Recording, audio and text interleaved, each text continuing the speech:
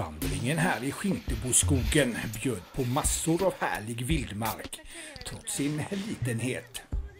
Ja, eh, det visste naturligtvis jag, men eh, inte gänget jag hade med mig. Det här vackra lilla grönområdet hittar man söder om Göteborg och eh, öster om Stora Amundön. Här finns massor av stigar. Jag har markerat några av dem. De mest upptrampade. Ja, vi började med att gå så här hit.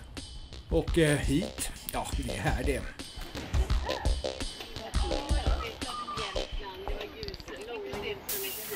Den här eh, stigen leder fram till Villa Dalfrid. Som vi ser lite av här mellan träden. Nu eh, knottade vi upp i deras marker. Det är ett gammalt parkområde man kommer upp till. Men eh, här, där stigen planar ut, tog vi höger in på en mindre stig och eh, brantare vidare upp i berget. Här eh, har ett naturligt hinder vuxit upp. Men trädet ser idag ut att inte må så bra. Ha, ha, ha trädet bara som stöd. Inte, inte ta motvikt. För då kommer inte jag kunna sluta skratta om det går att ramla ner.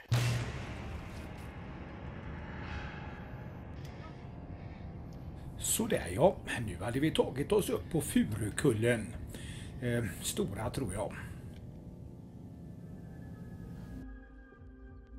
Utsikten västerut är inte fy skam, så här hade vi gått hit upp.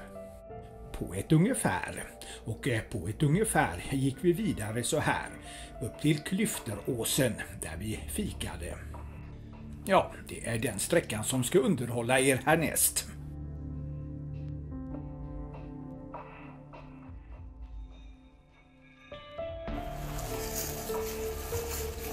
De där kottarna, Ja, de är svåra. de är runda.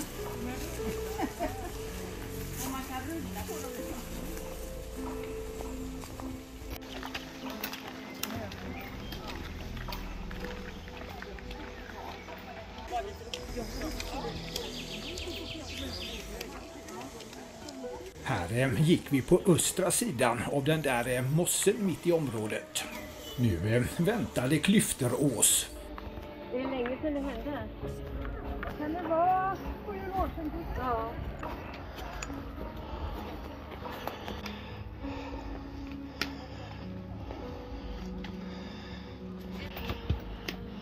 Kolla stenarna där till vänster. Nästan som ett litet bord. Ja, titta som en byggnad nästan, en liten hylla.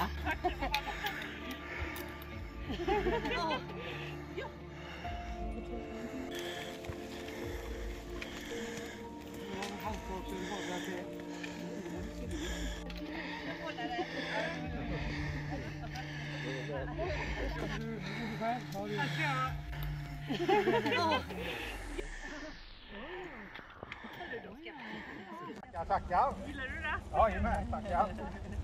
Ja, ni hörde. Ronny blev just tilldelad en kexchoklad.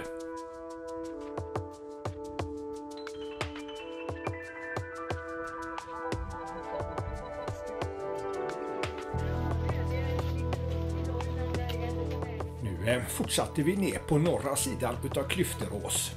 Längst upp i norr på Skinteboskogen. Eh, ja, Skinteboskogen. Jag vet inte hur officiellt det namnet är på skogen, men eh, Skintebo ligger ju här i faggorna. Så eh, då passar väl det bra.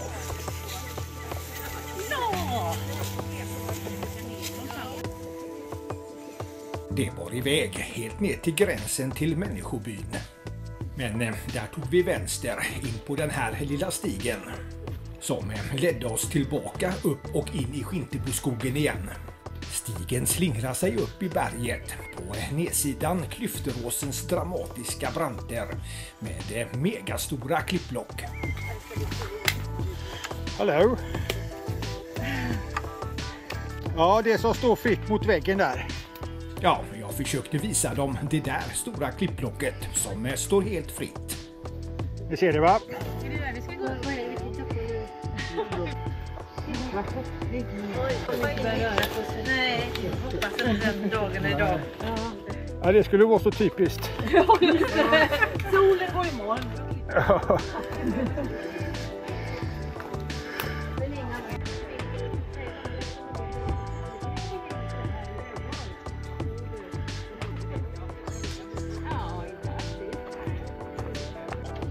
Ja, Nu eh, kom jag att trycka på fel knapp. Oj vad långsamt de började gå. Ja, det är inte lätt med massa knappar när man inte har med sig läsglasögonen. Nu var vi i alla fall framme vid min eh, reservfikaplats. Ifall om att det skulle blåst för mycket på toppen. Här var det dock ingen som fattade vad man ska göra med en gunga. Och eh, när någon har en kamera.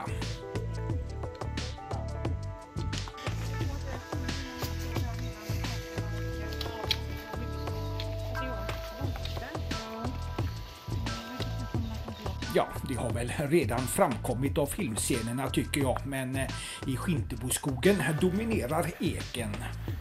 Det är en riktigt trevlig ekskog och det blir så grönt och lummigt med bärisen på marken. Nu eh, befann vi oss på västra sidan av den där eh, mossen mitt i området. Det är väl eh, dags för kartan igen. Från toppen på Klyfterås hade vi gått så här. Vi följde stigar hela tiden, så även där jag inte markerat stig följde vi stigar. Och eh, nu var vi där. Stigen vi följde här nu var lite otydlig. den, den, den stigen ni går på nu, den sandas inte.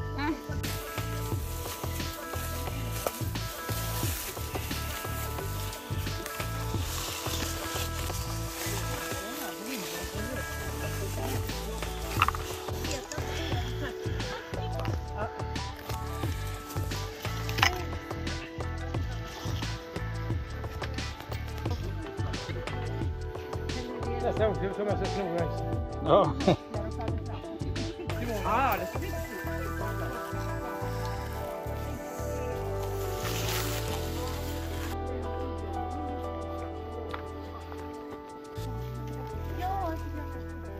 Här ser vi en av dammarna till Villa Dalfrid.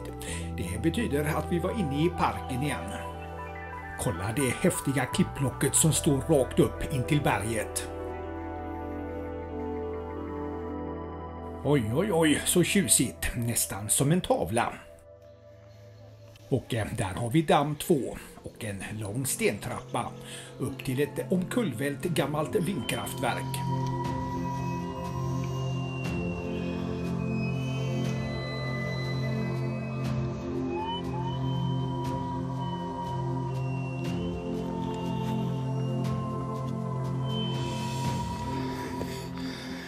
Här har ni kraftverket. Vindkraftverket.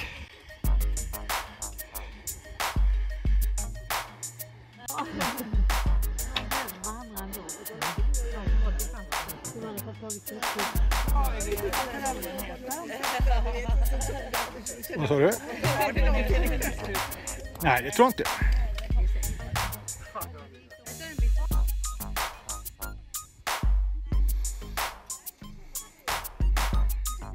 Ska vi titta på hur vi gick hit. Här står det häftiga klippblocket och här går trappan upp till vindkraftverket och utsikten. Men detta var en avstickare, så tillbaka ner igen och vidare bort hit till Ugglegården. Eller rättare sagt vyn bort emot den kulturminnesmärkta Ugglegården. Som är privatägd, så vimsa inte in på deras tomt. Och eh, så avslutade vi med att gå ner här och eh, ut bland eh, civilisationen. På väg ner gick vi kanske förbi Moses stentavlor.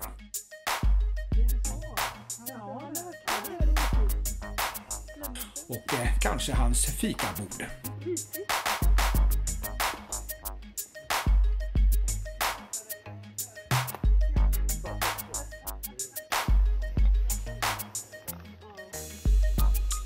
Ja, ja, nu var vi ute ur skogen. Ja, så här eh, glada såg de ut efter vandringen. som eh, jag beräknar till ungefär 5 km lång och eh, lite småkuperad om jag inte minns helt fel.